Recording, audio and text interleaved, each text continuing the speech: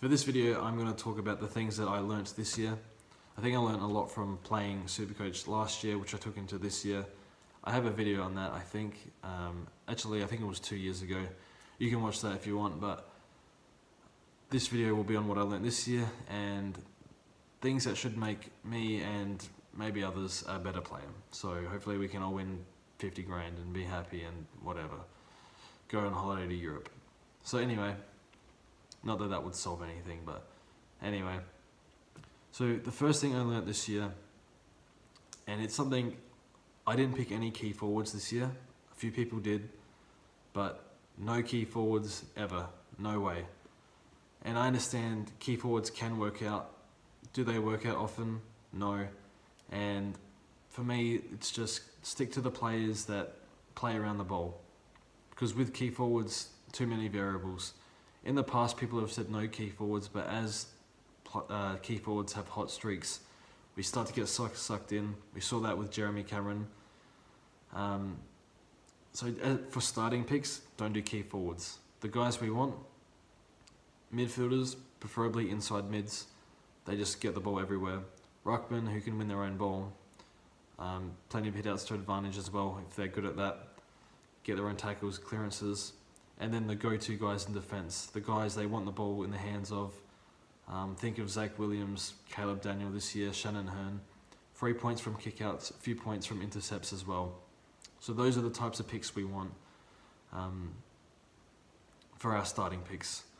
Um, towards the end of the season, you can take a few more risks because there's less games, and um, price is also a factor. So, no key position forwards. Don't do it. It's not worth it. Um, they're just too up and down. Standard deviation is too high. Second thing I learnt, role sharing. So for me, I picked Wayne Milera this year. Um, he had a pretty good end to last year, averaged 92 odd. Um, had a really strong preseason. But unfortunately, this year with Brodie Smith coming back, um, Smith, Laird, and Milera, it was too much. And what ended up happening was Milera played well in defence, but he had to move forward because it just um, the Crows just had too many players doing a similar thing down back.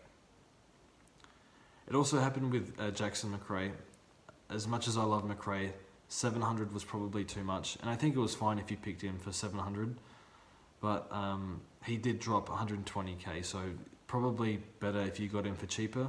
But what happened was Tom Liberatore came back and Macrae's mid-time got cut because of role sharing. A few weeks in, Libba gets injured and his role changes, so Macrae's back to his 130 best.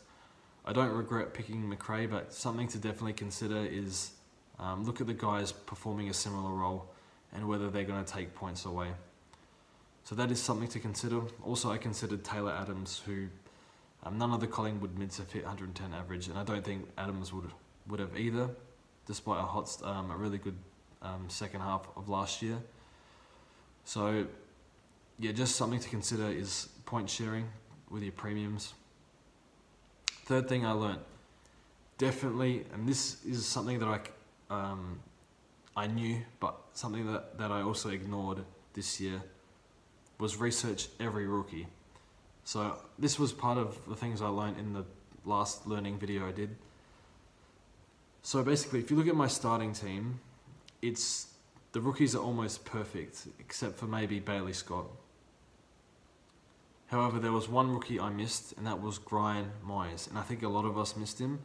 We saw the dreads, um, didn't hear anything about him, about him till JLT. Had no idea he'd kicked 50 goals in, I think it was a TAC Cup or some other 18s league, I'm not sure. So he kicked 50 goals there, which was incredible. I didn't notice, I'm not sure anyone else noticed, so just saw the dreads and said this guy's probably a dud. Turns out he was the best forward, um, forward rookie by a fair way, I think. Him and Drew, I think. So every single rookie we have to research, every single one. Because I think I did a lot of research into rookies, and it's what it's what's got me to rank 350ish at the moment with six rounds to go. But again, you have to, yeah, every single rookie, doesn't matter what they look like either. So he was mature age as well. I think he's two years in the system or something. So definitely have to consider every single one. Fourth thing I learnt is don't get too much fear of missing out. So for me, I saw I saw Hurn was going playing out of his mind. Whitfield was playing out of his mind. Lloyd would not put in a bad game. So about eight rounds in, I'm thinking I can't get any of these guys. These guys are all playing incredible. Too expensive. Could have looked for value elsewhere. Ended up getting in all three. All three kind of failed in terms of getting a return on investment. And by that I mean I paid 600 for Hurn, 600 for um, Lloyd, and 560 for Whitfield. I think Whitfield I could justify just that he got injured, but Hearn, Hurn got injured as well. But um, he's I got him in after a six week average of 120.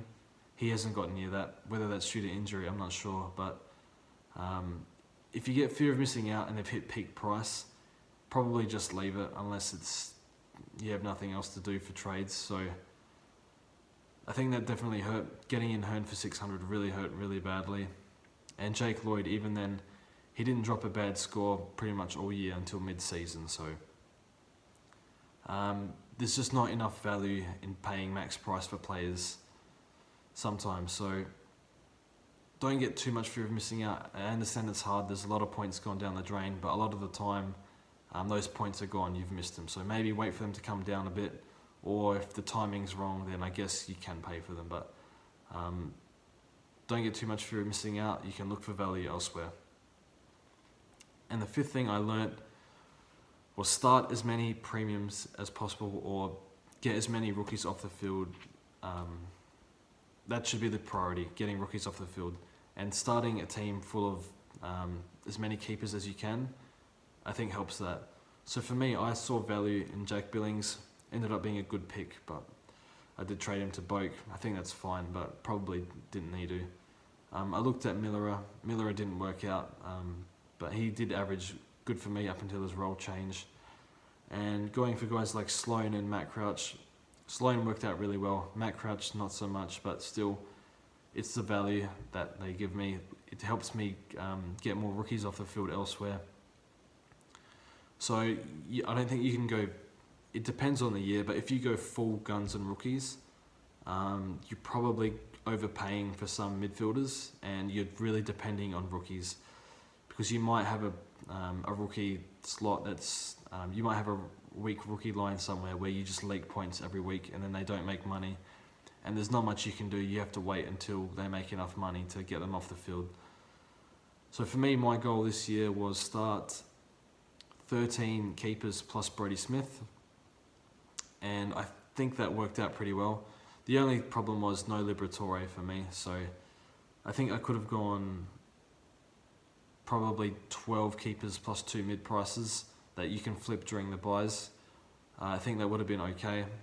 It obviously depends on the mid pricer, um, if they're any good or not, but um, stepping stones I think they work okay, especially if you're unsure about who else to pick.